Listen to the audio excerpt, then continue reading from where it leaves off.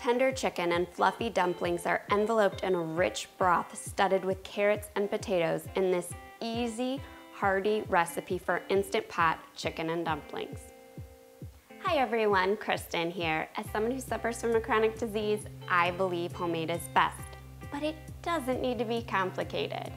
I've shared with you before that Sunday nights were reserved for family dinners at my grandparents' growing up.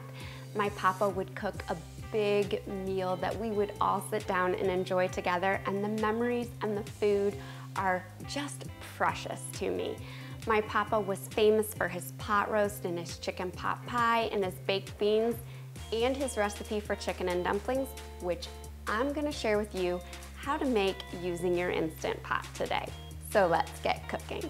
To get started, we're gonna hit saute on our Instant Pot and we're gonna add in just about a tablespoon of olive oil here. We're gonna let that, once my oil's heated, I'm adding in one small minced onion, two stalks of celery that have been minced, one pound of cube boneless, skinless chicken breasts. You could certainly use chicken thighs if that's what you have on hand. And then we're gonna season that up with a good pinch of salt. We really wanna season the layers of our soup as we go for a really incredible, delicious recipe. And then we just wanna saute our chicken and our onion and our celery here just until our chicken is nice and golden and the onion and celery have become softened. Already smells incredible, that onion and celery and chicken combination, mm, perfection. All right, my chicken is looking nice and golden, and so now I'm going to add in one clove of minced garlic. We don't wanna add our garlic any sooner or we could risk burning our garlic, which would ruin a dish fast. We just wanna saute it here for just about 30 seconds, just until we smell it. And you know the drill, anytime we use the saute function, we must deglaze our pot. To do so, I'm adding in a half a cup of dry white wine today. You could certainly use chicken broth if you don't cook with alcohol. And you wanna use like a Pinot Grigio or a Chardonnay. I have a Chardonnay today. And then we wanna just use a wooden spoon or a spatula and just scrape up all those brown bits on the bottom of our inner pot. It's gonna add flavor and prevent a burn notice.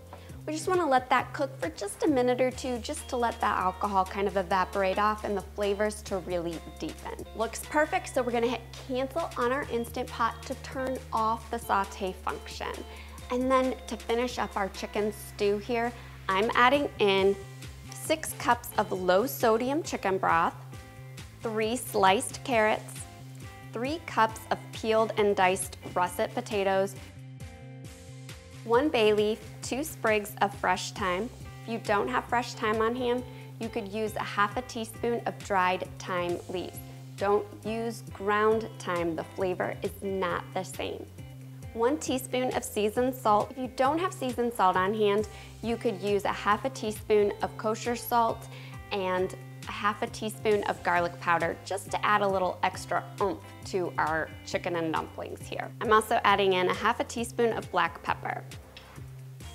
We're gonna give everything a good stir here. And now for our dumplings. While I certainly won't judge you if you take a shortcut and used canned biscuit dough, I'm telling you that the homemade drop biscuits that come right from my papa's kitchen are super easy to make and the flavor and texture is so superior. You won't regret taking the extra couple minutes. To make our dumplings, I'm gonna combine together two cups of all-purpose flour, one teaspoon of salt, and one tablespoon of baking powder.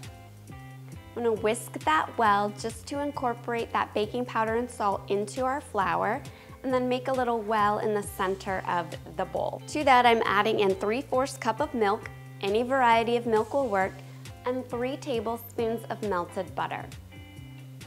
I'm gonna stir that with a wooden spoon just to bring it together. We don't wanna overwork our dough here, just incorporate it, and that's it. We're gonna scoop our biscuit dough by one tablespoon portions into our Instant Pot here. And I like to use this mini cookie scoop, which is just perfectly portioned out and it makes it so that my hands don't have to get sticky because this drop dumpling dough is a little bit on the sticky side.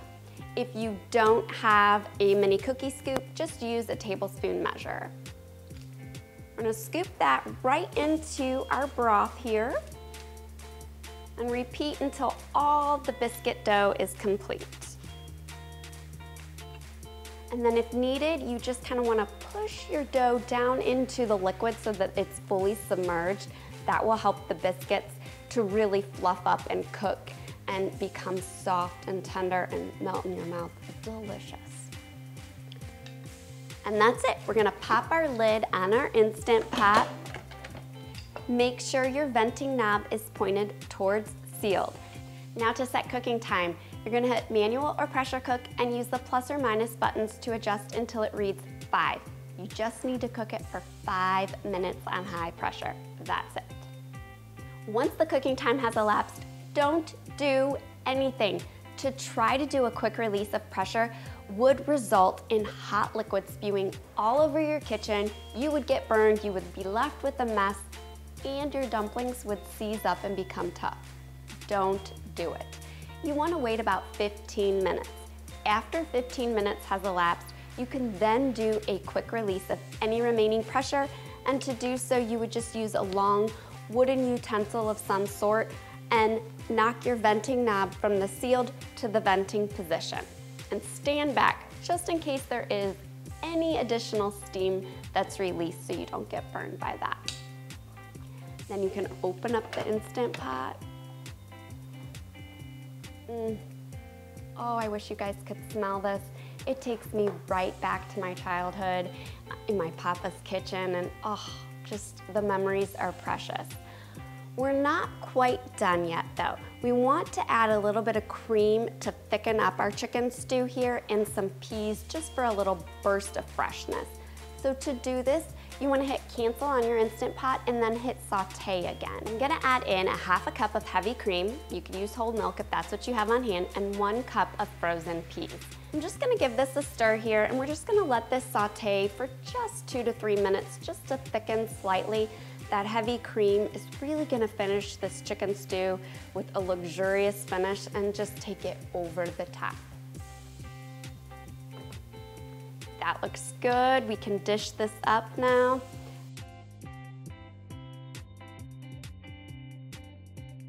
All right, I have to go in for a bite here. I cannot wait to have one of these dumplings again.